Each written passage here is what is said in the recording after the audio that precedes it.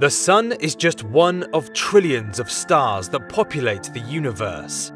But out of all of the stars that have ever existed, it is possibly the most extraordinary. Why? Because it nurtures the Earth, the only place, as far as we currently know, which allows life to feel its warmth and see its light. But what if we could hear the sun as well?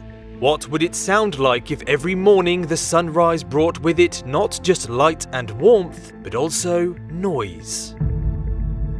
Much like the video I made about the real sound of a black hole, which I'll link to at the end of this video, we cannot directly hear the sun from Earth. The laws of physics prevent sound from travelling through the vacuum of space. It needs a medium to move through, such as a gas or water, for example.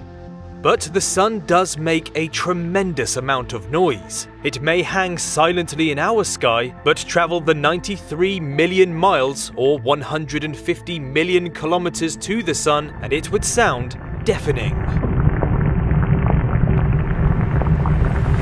So, as part of an intriguing thought experiment that I found online, let's find out what the awesome power of our star would sound like if we could hear it from the surface of Earth. First, we must assume for a moment that we are in an alternative universe, where sound can propagate through the vacuum of space. Imagine that space was full of dense gas, for example.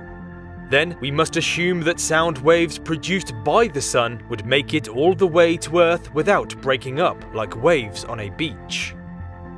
Only then can we imagine what it would be like as our noisy sun slowly appears above the horizon, bringing forth a new day, but also the colossal roar of chaos. A noise so loud, according to scientists, that you wouldn't even be able to hear your family say good morning.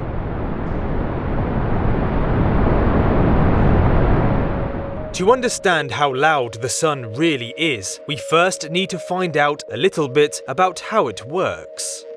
The sun is a giant sphere of unimaginably hot plasma that is powered by nuclear fusion reactions deep within its core. It has no solid mass, meaning it doesn't have a distinct, solid surface like the Earth. Instead, it is composed of layers made up almost entirely of hydrogen and helium, and so the surface of the Sun is considered as the first visible layer. It is the layer called the photosphere, and is where a hell of a lot of sound would be produced. This incredible, real footage is of a small region of the photosphere, revealing dynamic grain-like structures moving and evolving in shape, providing a detailed look at how active the surface is. These moving structures are called convection cells and occur when superheated plasma from deep within the sun rises, cools, and then sinks back down in a process called convection. The same process can be seen when water is bubbling in a boiling pot, for example. On the Sun, there is estimated to be millions of these at any given time, and each cell is about the size of Texas so you can imagine just how violent and loud one of these structures would be. According to some calculations that I found online, the surface of the Sun, which remember is an extremely turbulent place and so these numbers are only estimated, emits around 200 watts of sound power per square meter of surface area which means that the sun's surface sound would equate to about 329 decibels, making the sun unimaginably loud. As a frame of reference, a standard vacuum cleaner produces around 75 decibels, a chainsaw about 110 decibels. But once you go above 125 decibels, you would start to feel pain in your ears.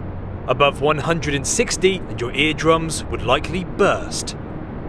While sounds above 185 decibels can impact your organs so severely that it can cause death.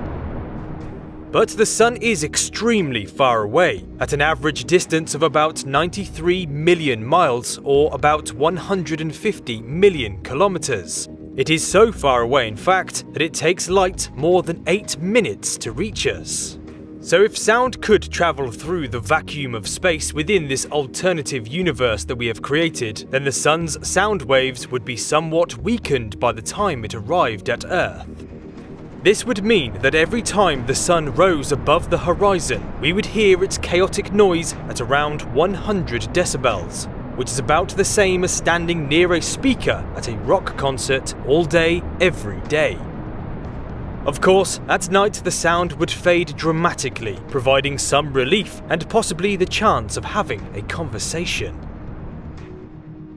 According to scientists who study the sun, the sound itself would be like a dull roar due to the number of different frequencies that make up the sound waves. One article I found said it would be like standing next to Niagara Falls all of the time, just much louder. So, the sun, which is deafening up close, would still be extremely loud if we could hear it from Earth, even though it is so far away.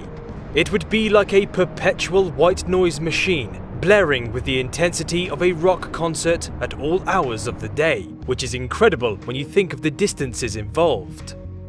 Luckily for us, however, sound cannot travel through the vacuum of space. But even if it could, life would have probably skipped the hearing part of evolution. Either way, just as we were told as youngsters never to look directly at the sun, we now know never to listen directly to it either. Did you enjoy this thought experiment? Let me know in the comments section below. If you want to explore more of the universe, check out some of my other videos, tap the like button and subscribe, there's plenty more to come. Thank you all so much for watching, and I'll see you all next time. But for the first time, astronomers have extracted these sound waves and made them audible. The sound waves were extracted in radial directions, as you will see in the animation that comes with the recording. The signals were then resynthesized into the range of human hearing by scaling them upward by 57 and 58 octaves above their true pitch. Another way to put it is that they are being heard 144 quadrillion and 288 quadrillion times higher than their original frequency.